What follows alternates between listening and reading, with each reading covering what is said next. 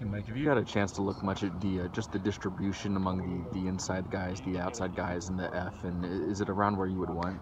Uh, we look at it pretty often, and there it seems to be pretty good distribution. Anytime it's low, you try to figure out why. If there's a particular reason based on what they're playing, or if there's a failure on our part to get it to them. But it does seem we've had pretty decent distribution this year, with uh, not uh, as far as personnel as much as uh, position. You know, we want the the Y position, the H position, uh, X and Z all to contribute. You know. Does it sometimes shift toward a, a, a dominant player, you know, Crabtree a little, that year? A little bit, but even then we had pretty good balance with the other positions.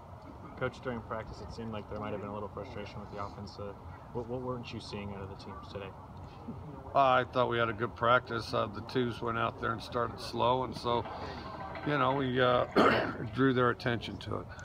The Stanford sack numbers are down this year. Is that a result of them bringing less heat, or do they approach it differently? Uh, maybe slightly, but some of it is they haven't played. Uh, they really haven't played too many people that throw the ball very much.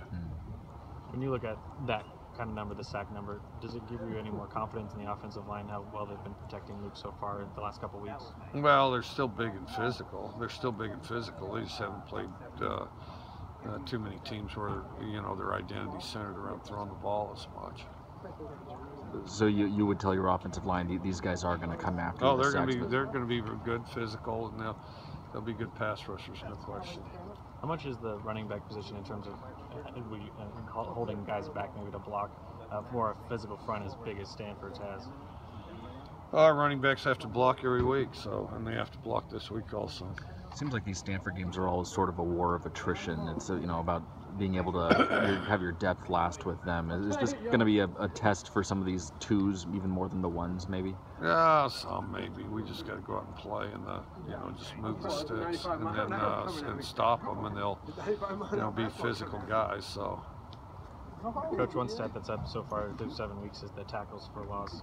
Uh, is it more just of a mindset that, that Coach Grinch has brought along, or is that just something a product of the team getting better at getting back to the behind the line of scrimmage? I think all the above. We bring pressure, and then also I think some guys are starting to emerge and play better. Thank you. All right.